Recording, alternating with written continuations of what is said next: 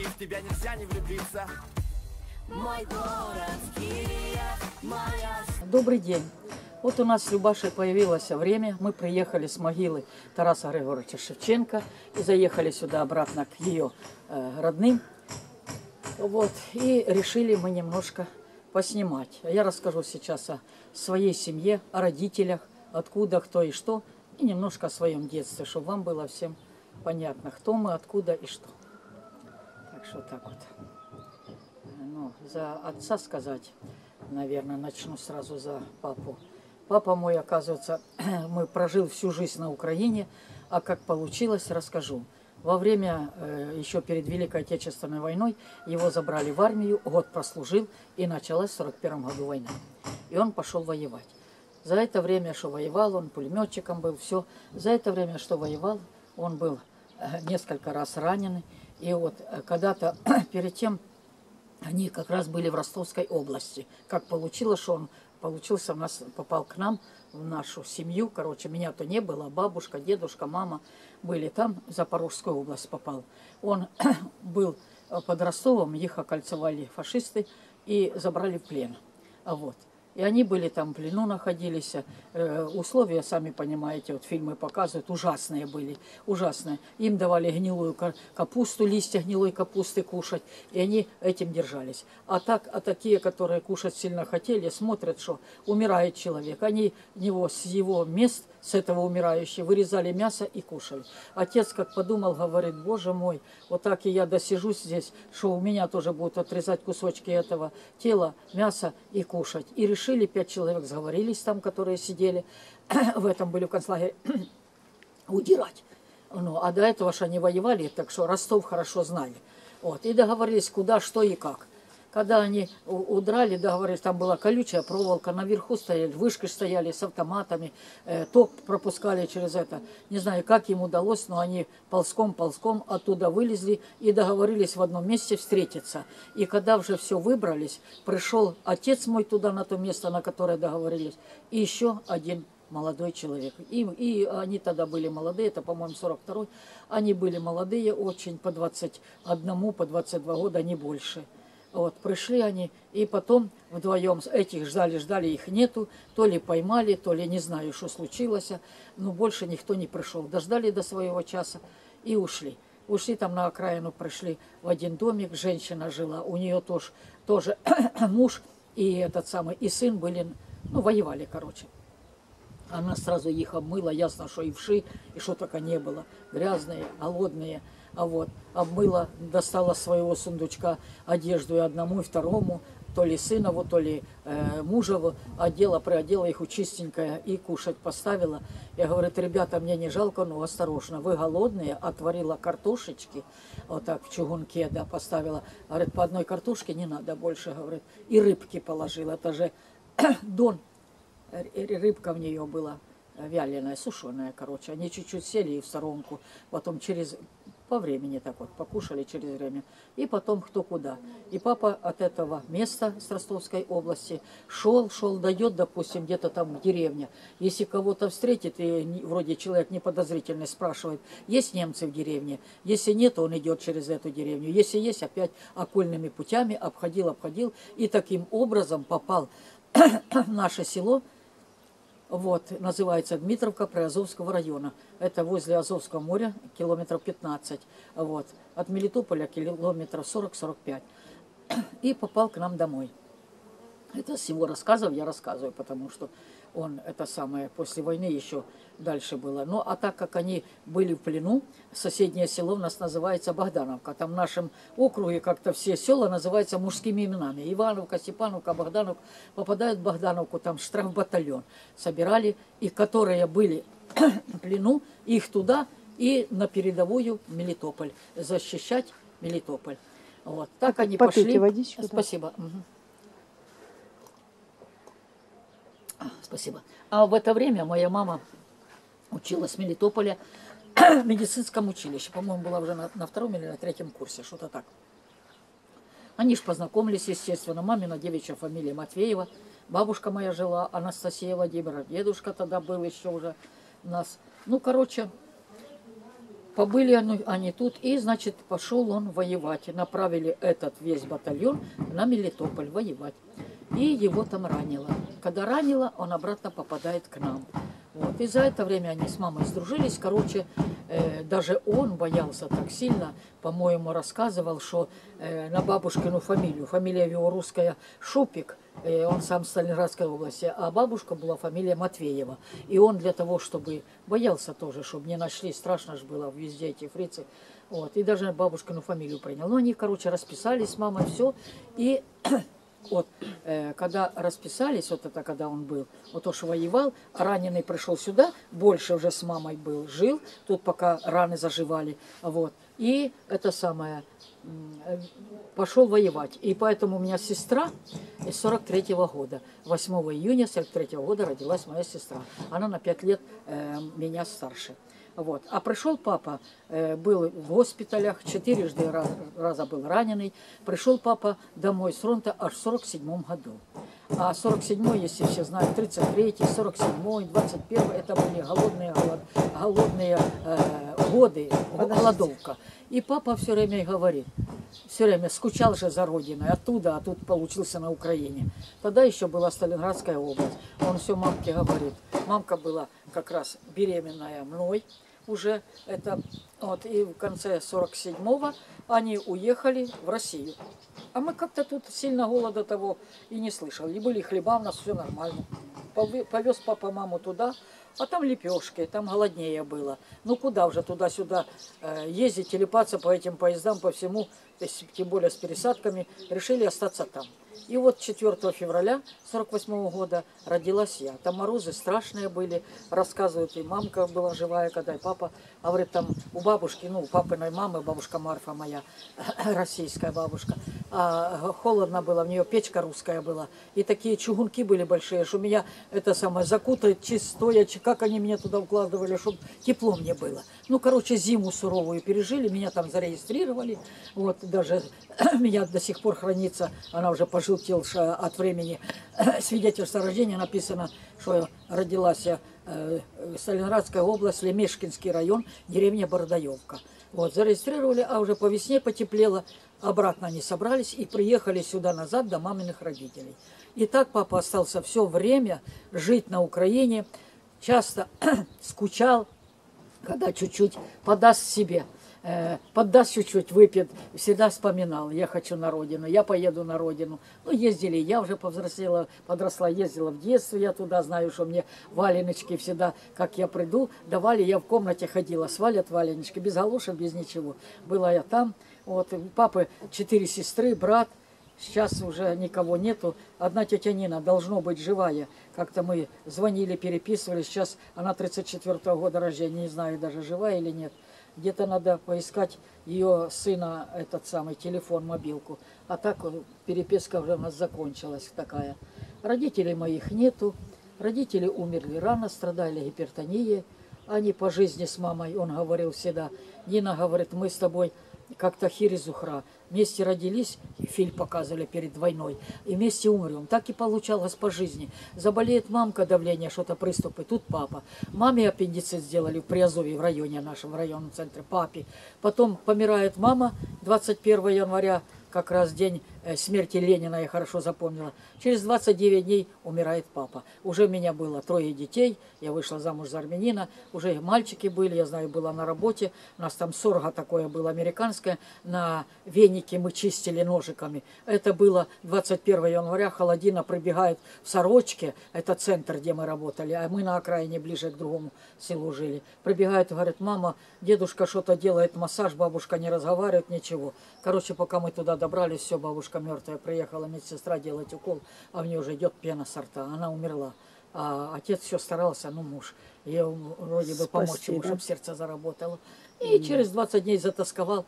Маме делали 40, ему 9 дней. Представьте себе. Все это надо было мне перенести. Вот это все ж болячки получается тоже. А Как мама переживала? сердце, сердце, да? А да, они оба гипертоники, они оба гипертоники, да. И вот так и все. И отец и Ну да. похоронен там в том селе. Я сейчас живу в Мелитополе. Я пока ноги ходят, хоть и плохо хожу, я все время езжу, поправляю. Хотя бы два раза в год надо поправлять. Оно 50 километров Мелитополя.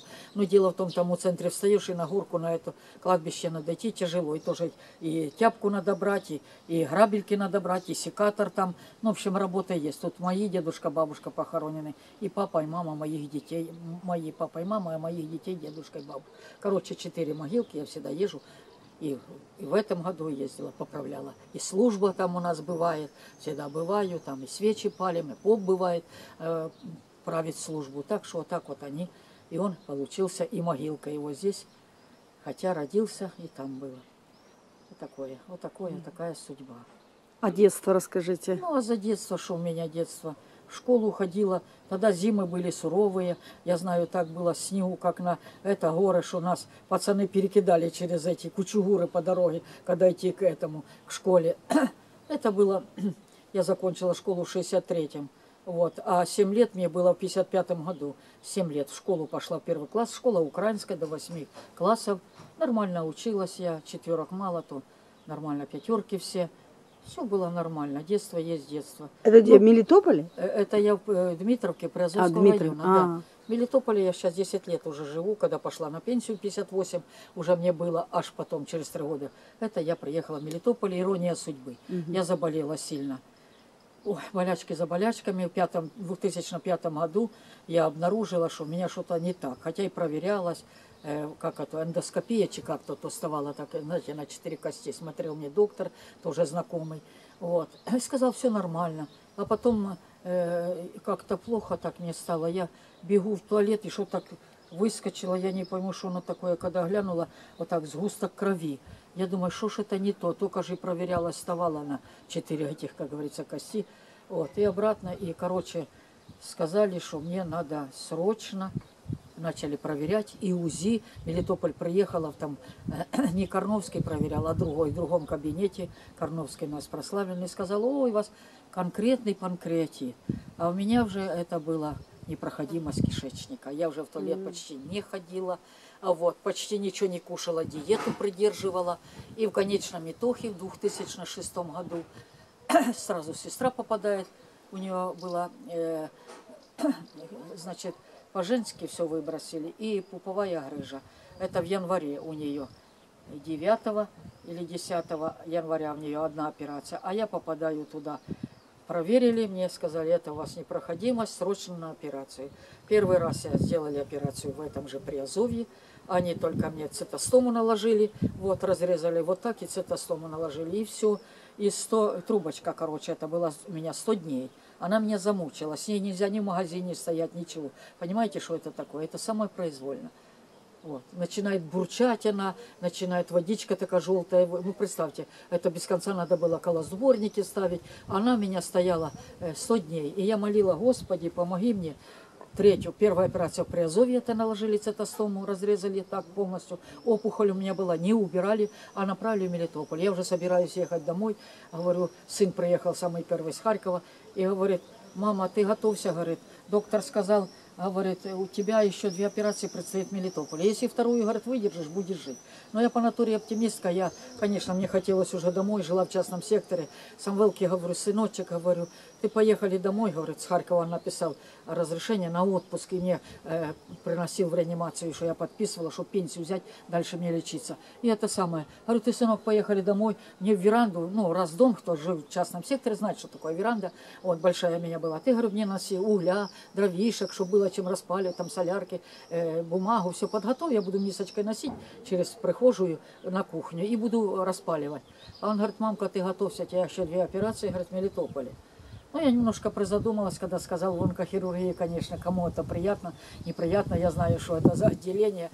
Бабушка моя так умерла, у нее было э, кишечник, с кишечником что-то. У меня, э, у меня кишечник, а в нее желудок было, опухоль. Ее разрезали, посмотрели, четвертая стадия, зашили, и в скорости после разреза она умерла в возрасте 75 лет. Ну, а мне, когда со мной случилось, было 58 только, почти на 20 лет разница от бабушки чина 15. Ну и, короче, ну, говорю, хорошо, сынок, куда денешься, уже будем слушать докторов. Выписывают, я проезжаю в Мелитополь, вот такое отделение только в Мелитополе у нас, ну и дальше есть, ну, поближе Мелитополь. Вот, привезли меня дети, Сюда дочка жила в Донецкой области, забрали меня без денег даже, забыла сказать, у Приазовья. Дочка была в Донецкой области, была зима очень суровая, даже у нас в Дмитровке минус 28 от Мелитополя 20 километров. Так так было, что куры у меня сидели на сидушках, курятники, позамерзали, куры, яйца лопались, а в дочке там снегопады. Мне во вторник она звонит доктору, э, доктор же сказали мне, какой номер. Они прозвонили ей в Донецкую область, они там жили, э, город Кировская, близко из Сина, Киеву, 18 километров. Что так и так с мамой. А дочка прозвонила зятям, делайте маме все, что нужно. Мы в субботу приедем на выходной и все провезем денежки. Они про- прооперировали без никакой копейки. Потом дочка приехала с зятем, все заплатила, спасибо им. Вот у меня так и выкарабкалась. Если бы сейчас в Мелитополе к нам приходят люди больные, схватил какой-то приступ. Каждый доктора спрашивает, а у вас деньги есть? Есть, ложитесь, нет, до свидания. Вот и все. Вот какое, как мы можем на свои вот эти гроши, копейки, которые мы получаем, даже пенсионеры, лечиться, я не знаю. Это ужас один. Короче, вот так вот. И меня вот тогда э, здесь, в Мелитополе, тоже первую операцию сделали. Я после, ну, первая при Азове, потом вторая по счету. Здесь самое трудное, бы сказал сын, мама, выдержишь вот эту, сказал доктор, ты будешь жить. Вот, ну, я выдержала эту операцию, Бог меня оставил. А, спасибо, Люда.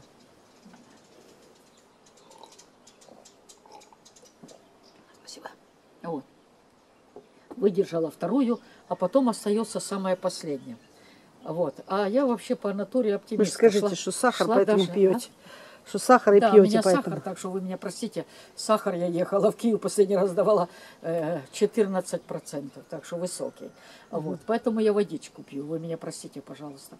Сушит во рту. И потом, когда это самое, сказали, когда мне перед операцией, все же знают, какую-то таблеточку вечером дают, а на утро операция. Но так как у меня с кишками дело, это вы сами понимаете, что такое, меня в последнюю очередь забрали.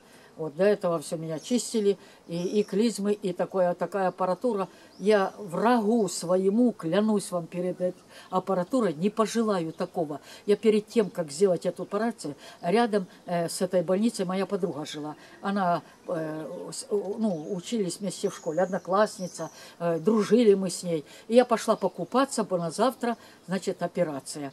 А Вот. Операцию первую э, вот в мы сделали, вот. а вторая 9 а, апреля э, вторая, а третья, когда опускали назад кишечку, 4 мая, 18 мая.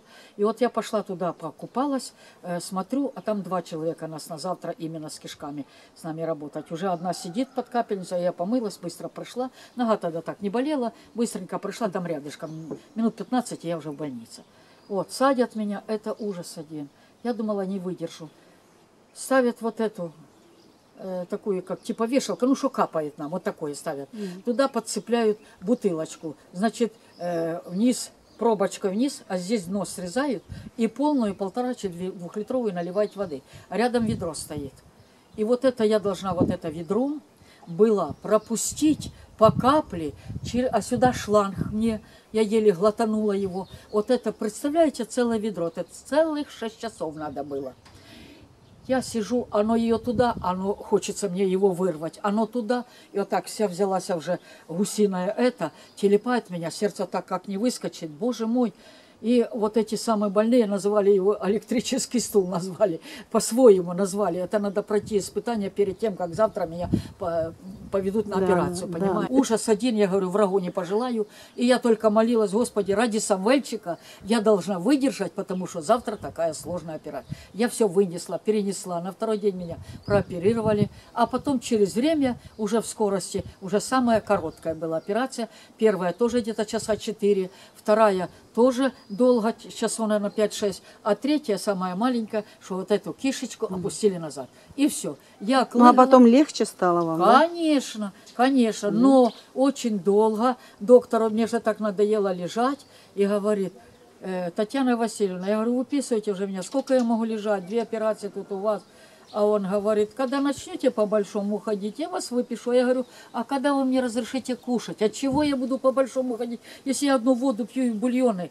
Так меня подруга нарушала. Молодец она, я ей благодарна. Принесет мне вот так, знаете, как судьба человека, этого Соколова, как разделили сало, там они, чи хлеб, что они вот такими кусочками черный хлеб проносила, потихоньку, потихоньку. А может, нельзя То было? А вдруг бы вы умерли? Я не, не умерла. Я бы пот- я не побоялась. злоупотребляла. Время прошло, сколько после операции. А потом уже мне надо домой. Вот. А потом она приносила мне бычочек обчистить, знает, что я любитель рыбы. Так тем более ж Это- нельзя. не, не, это уже прошло, наверное, недели три после операции. А я уже домой можно ж хочу. было каши какие-то, Там- супы, да нет, а это ж, это ж давали, вообще Там не как... давали, там мне диету давали, жидкий бульон. А она мне чуть-чуть, Таня, ну кусинчик, хоть посмокчи, пососи вот этого вычет. И так вот это мы нарушали. Ну, нормально я вышла, все хорошо. Слава Богу. И врачам, и все. Вынесла. Я не думала, что я буду жить, потому что у нас в селе, я долго в реанимации была после второй тяжелой операции. И все сказали уже, Таня, это уже умрет, это она уже все. Ну, я выкарабкалась и радуюсь жизни, слава Богу. И Самвел прославился, и сам, и нас всю семью прославил. А как в детстве, вот как Самвел, вот дочка и старший сын, как вот Эдик, как они вот друг от друга отличаются? Вот Самвел как-то отличался от них тоже? Э, Ну, как вам сказать? Он нарциссист. детстве как Он в детстве, он чудак был, он чудак. И он, знаете, в детстве слишком плаксивый был. Я когда-то наш армянин работал в Башкирии, я там им готовила кушать. Ему было три года, э, Эдику пять с половиной и Ирочке 14. Трое детей, все от армянина, все они родные Да, между да. собой. И он такой вот, все плачет, что-то не так, все воет, все воет. А где мы были на квартире, муж женой, Таня и се- этот, как же, и Коля зовут. Ну, младший, своих потому трое, да, что. ну, это, э, она, Любимый. мама пришла и говорит, боже мой, крестится, если бы она, э, р- россиянка сама, если бы у меня был такой ребенок, я бы точно уже удавилась, ну, повесилась. А я говорю, я давиться не буду, это в него возраст такой. Сильно плакал, но сейчас он крепкий. Вот это единственное тоже, вот когда съемки идут, вот недавно смотрела в девочек в Киеве, поразъезжались все из этого, э, как во Львове были, снимки были, их снимали. Все уехали с гостиницы, и Женя Поливода, и съемочная группа. Он плачет, он просто плачет. Я очень, говорит, быстро Вот я привыкаю. тоже такая. Он такое, и я тоже. Мне быстро к людям привыкаю. Он сам такой простой. И, может быть, и притягивают его все такие люди. Он такой не врет. Не врет. И я, если пользуюсь случаем, если можно, Любаш, я скажу здесь, от имени, как я мама, пожалуйста, он сразу, конечно, сильно расстраивался. Пишут есть такую гадость. Я вас прошу, пожалуйста, не дергайте его. Он у него каждая минута занята. Я живу от Днепропетровска, он в Днепре, я в Мелитополе. Четыре часа, а может даже меньше, скоростная маршрутка ходит, и в него нету времени лишний раз приехать. Вот эти его подписчики все просят, когда ты будешь у мамы. Мама такая прикольная, мы хотим послушать. Вы поете всегда хорошо. Пожалуйста, такие вопросы, что стыд, стыд страм сказать. Он, он сельский был парень, пролез сам в Москву, до этой Зыкиной. Что с ним было, он все рассказал. И что за дурацкие вопросы? Ты скажи, ты гей или еще что-нибудь. Ну, такие глупости, или что ты не женись.